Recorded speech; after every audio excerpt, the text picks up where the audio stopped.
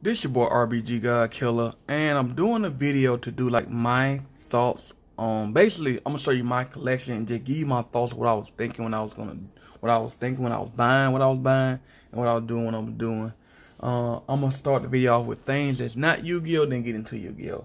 Um, first thing first, I know a lot of people been talking about this, but this was like the last day to buy this Mario 3D All Stars.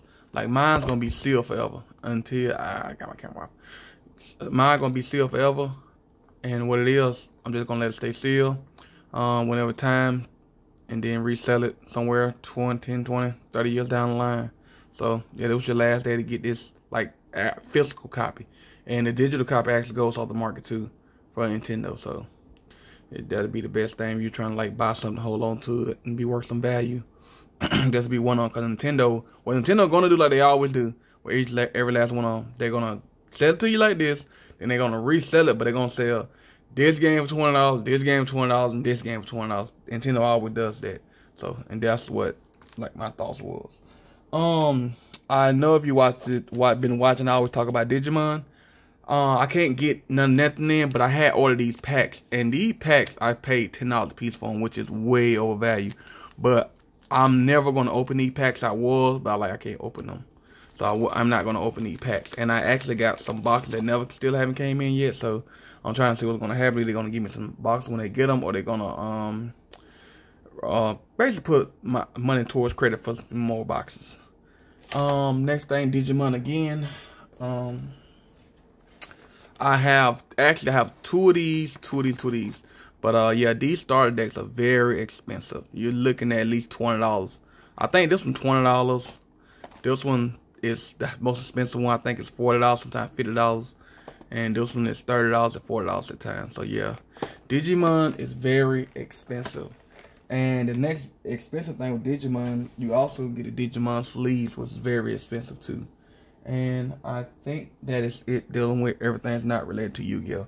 Alright, let me show you my thought process on what I've been doing. This is something that you probably could do now if you can find it. Um, these right here, Battle City boxes, I have four of these, and they still that I'm gonna open one of them. You know, I'm open one of them on, on camera, and I'm gonna tell you what's what's going on. What happened on the secondary market? These going for almost fifty dollars, so I can easily resell everything I have. But it's hard. It's hard to get the secret rares out of here, and I actually have a cart where I got something I'm buying, but I may not buy. So what it is, it's the secret rare cards that's hard to pull. So I need to see what I'm getting. Cause the main, the main three monsters that's in here that's expensive is Paladin, Blue Blue Eyes, and Dark Magician. So if I pull one, either one of them, I can take it out of my cart before I decide to buy it later on the night. So let's see what I get. I know you get the original God cards, which I'm gonna give away. I see a blue. I got a Buster Blader, nice. Blue Eyes, nice. I need a Dark Magician. A breaker, nice. He works money too. Reinforcement of truth and lost win. Okay, there's two cards I need to buy. That's Nobleman Crossout, and I also need to buy not Nobleman Crossout. Crossout, yeah, Nobleman Crossout, and I need to buy. Um, I also need to buy. Well, Dark Paladin, Dark Paladin, Dark Magician, and Nobleman Crossout. Yeah, them are three I need to buy right now. I got everything else. So yeah, if you buy that and just keep it sealed, that'll be worth money. Like uh this right here, the Battle City box that just came out a couple months ago. I still had this whole display box sealed. And now the display box is running at $110. By the end of the year, they probably $300. So I'll probably sell it by the end of the year or a couple of years from now. See the price on it. Cause that's expensive. Um, let's see what we're going with next.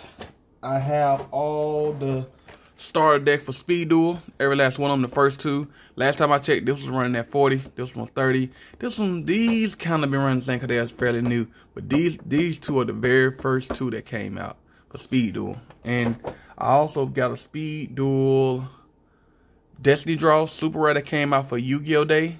And like one, it's a rare copy. So, and that, this car actually came all the way from Hawaii. So, that's like my thought process on that. And let me see. What's next? And I now I keep booster okay, collector tin. That I I now have this collector tin is going up in price because Dragoon. And I do still have my one Dragoon copy. And I think it's almost $80 now. I've been holding on to it, and these tins are going up in price. So if you see one of these or the 2019, uh, buy it because they only worth 20. They twenty dollars MSRP, but like secondary market, easy resale for like I think how much they fifty dollars now? They're expensive now. Um, now I actually have two of these I haven't opened. That's legendary Duelist Rage of Ra because people trying to pull the Ghost Rare. And I now I think these are $80 and they was cheap when I mean when they were like $45 when I got like all mines in. So I actually have two more of these. I can easily resell them for a good profit. And I think that's all like the big bulk products. Alright. Now let me explain what's going on. Um, I think Yu-Gi-Oh is now heading into the Pokemon world to where everybody's starting to pull the old first sets, old first cards. So if you find a way to get like older cards, you will be in the green. And I'm gonna show you something I, I got. There's a set called Master Collection, like the first bounding that kind of came out for Yu-Gi-Oh, and had all these cards in it. It had uh Exodia. XCV, that'll be the, the, the mark number. MC1001. And I got Dark Ruler. Really Hades, so they, no, can't say it in English. So that came from the Master Collection. I have every card. Um, this actually was a good look for me. I actually bought this card from the actual seller, relinquished, but he took so long, he threw this one in for free. So I actually bought both of them. I had, I actually got both of them, so I had didn't have to buy this one separate. That was a good look on that guy. I gave him a good rating and review. That's a good look. Um, Dark Necrofear. All these cards are actually no. This is not the right one. I got the wrong one. I pulled the wrong one to show y'all. Basically, it's a card like this. Um, it's probably up here with the rest of my cards. So, I can't find it right now. Basically, this card I did come from the Master Collection. There's another one just like this one. And I have like five of these Barrel Dragon. Because most all these cards in anime, and they're anime known. So what happened is they're going to be in value and price. Because the Master Collection itself, for I only see one listing for it, and it's eight hundred dollars for the Master Collection.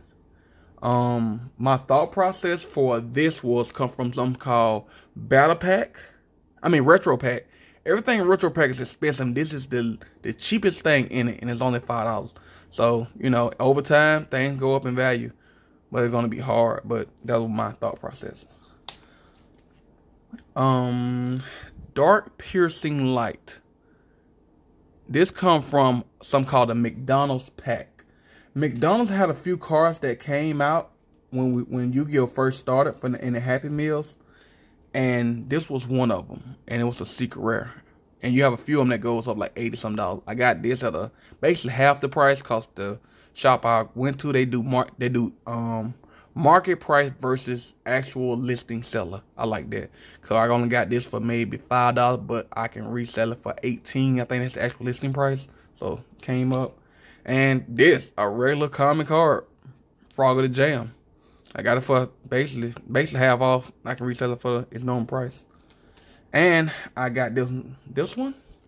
This is called Invader of Darkness. Come from Invasion of Chaos IOC. One of the, I would say one of the best Yu-Gi-Oh sets that came out. And okay, in the Duel Monster era, because I, I think I break Yu-Gi-Oh down into three eras. I would say the gold rush for cards you're looking for is from the Duel Monster era. That's the original Yu-Gi-Oh era. Then you have what I call the Silver era, which is the GX era. And then you have the Bronze era, which is the 5D era. And I'm gonna say there's the the other the next era would be what you would call the number hunt number hunter era from um Zexal. We try to collect all the numbers. All the XD numbers. And I got this from Shonen Jump Unity. Kind of got a half off too. Now, let me show you all my mistake in buying cards. You have to be very careful. Um, this also, this also come from the McDonald's pack. I wasn't looking very good, but let me show you where I messed up at. Not inspecting well. It looks good, but actually there's a scratch there that I did not see at first. And then I really didn't turn it over and realized that this was dent and I had a crease in there somewhere. So it kind of kills its value. It kind of does and it has a crinkle here. So if I would get this thing graded, there you go. You probably see that. I see it. That that right there. Even if I was trying to get this graded, it was not. It would not get a good grade. That right there alone will kill it. So let me show you my other mistake. Now this comes from Invasion of Chaos 2, first edition. It's hard to find cars like this. From the I only inspected the front. And I was saying to myself, man, this car is impeccable. It looked good. You don't really see no scratches on it. Nothing for real. Not like near mint. I didn't really check the back. And then I noticed the scratch there. Let me get it focused. Uh, okay. There's a dent up in the top left side right there. And then another crease right there. You see it? All that kills the value. That make a dent. So that, that was my mistake. Those were my mistakes. All right, let me show you why everything I picked up today. Show you where my mind was going. This right here was worth it's worth some money. It's just an ultimate rare. I finally got some different rare rarity too. I finally got an ultimate rare. This is an ultimate rare, and it's like twenty some dollars. And it come from a very it come from the Duel Monster era, and it's first edition. This is when they were first printing ultimate rares. The ultimate rares now today don't look like these ultimate rares. They kind of these ultimate rares to me kind of ugly. Dimension Invader, first edition. Look kind of good. Painful Choice, first edition. Magic Ruler, don't say spell card, magic card. Worth money. That that magic card and first edition, and it came from Magic Ruler, and the reprint was Spell Ruler. That when they started changing all the cards to spell cards. Worth money. That alone worth money in time. Another first edition magic card, and that comes from Pharaoh's Servant. PSV, first edition. I normally don't buy unlimited cards because they don't have the same value. But I only Giant Trunade is a banned card and it comes from the Duel Monster era. It's a magic card. But the reason why I got a magic un- and it's unlimited because it's a magic card and it comes from Magic Ruler, not Spell Ruler. It's not a reprint. I mean, it's a reprint from the original, but it's not a reprint reprint because you have two you have a spell ruler reprint that happened in 20, 2027, 2017, 2017. So that, and I got a Dark Hole. But this Dark Hole is from the very first Yu-Gi-Oh! set ever come out. LOB. Lit, um, Legend of Blue Eyes White Dragon. That's why I got that. And this right here come from a limited edition from um, Rage and Battle. Worth a lot of money. Worth some money. This is a numbers ultimate rare.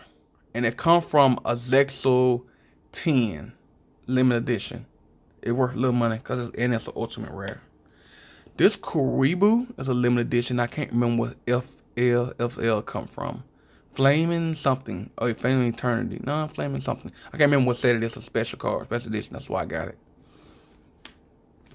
Insect Queen come from the Collector's Tin from 20, 2004, 2003, or 2005, or 6. Somewhere up in there. It's basically the old, it's one of the first few collect, collect first few cards and from a Collector's Tin. That's the only way you're going to get this card. And Collector's Tin. This card came from a Collector's Tin. Same, same principle. Over time, it's one of the very first few cards to collect 10. Um, I got this one because it's a gold rare from um Prem Premium Gold, like the original gold rares. That's why I got it. And they're not gonna print none of that anymore like that. Cause you all seen the new gold rares, the new maximum golds, the new gold cards look like like this. Dark Magician. Alright. Um Hanzo is from Collects 10 too. I try to collect try to get all the Collects 10 from the old card back in the days. Um Neo Weed Man it's Silver Era. First edition. Worth money. Come from Collect 10.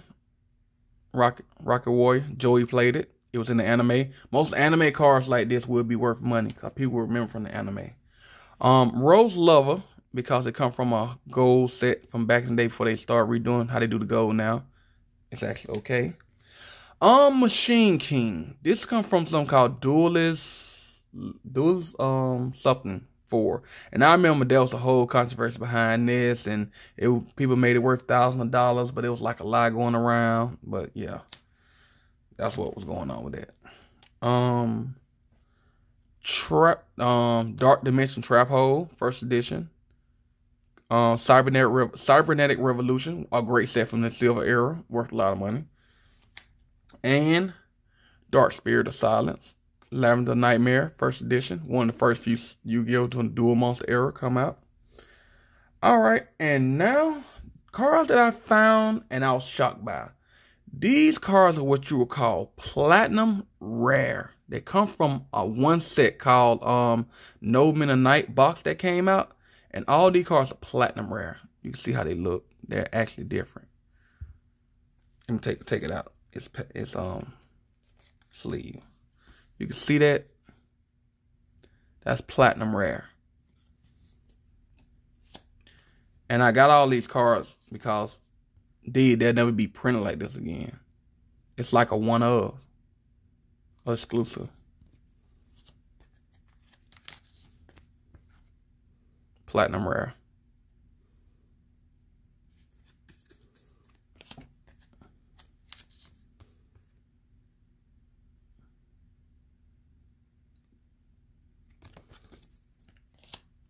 Yep, platinum rare.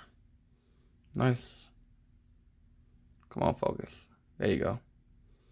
Yep, and those are my thought process of things like that be collecting or keep your eye album for. Um, I gotta put my bind when I get my other binder. I'm gonna put all my. I'm gonna put on a binder together and let you see like the gold rares and different type of cards in a binder.